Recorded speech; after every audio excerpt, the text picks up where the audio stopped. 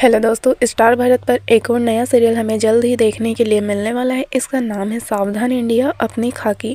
ये हमें चार मार्च से रात साढ़े दस बजे की टाइमिंग पर देखने के लिए मिलेगा। इसकी कास्ट के बारे में बात करें। इसमें हमें अंकित बाटला देखने के लिए मिलेंगे लीड रोल में, जिन्हें कि हम इससे पहले कई शो में देख चुके हैं। हाल फ़िलहाल में इन्होंने कुंडली मिलन सीरियल में लीड रोल प्ले किया था। इसमें हमें तन्वी मलारा देखने के लिए मिलेंगी। साथ ही हमें इसमें ईशान सिंह मनहास देखने के लिए मिलेंगे। और राजवीर चौहान भी इसमें हमें देखने के लिए मिलेंगे। इन सभी का रोल काफ़ी ज़्यादा इसमें अच्छा होने वाला है। और ये सीरियल जो है, क्राइम इन्वेस्टिगेशन पर बेस्ड है तो इसमें हमें हर एपिसोड के साथ नई नई कास्ट देखने के लिए मिलेगी। लेकिन लीड कास्ट में हमें ये चार एक्टर देखने के लिए मिलने वाले हैं। तो दोस्तों, स्टार भारत के इस न्यू सीरियल सावधान इंडिया, अपनी खाकी को आप चार मार्च से रात साढ़े दस बजे देखने के लिए कितना एक्साइटेड है?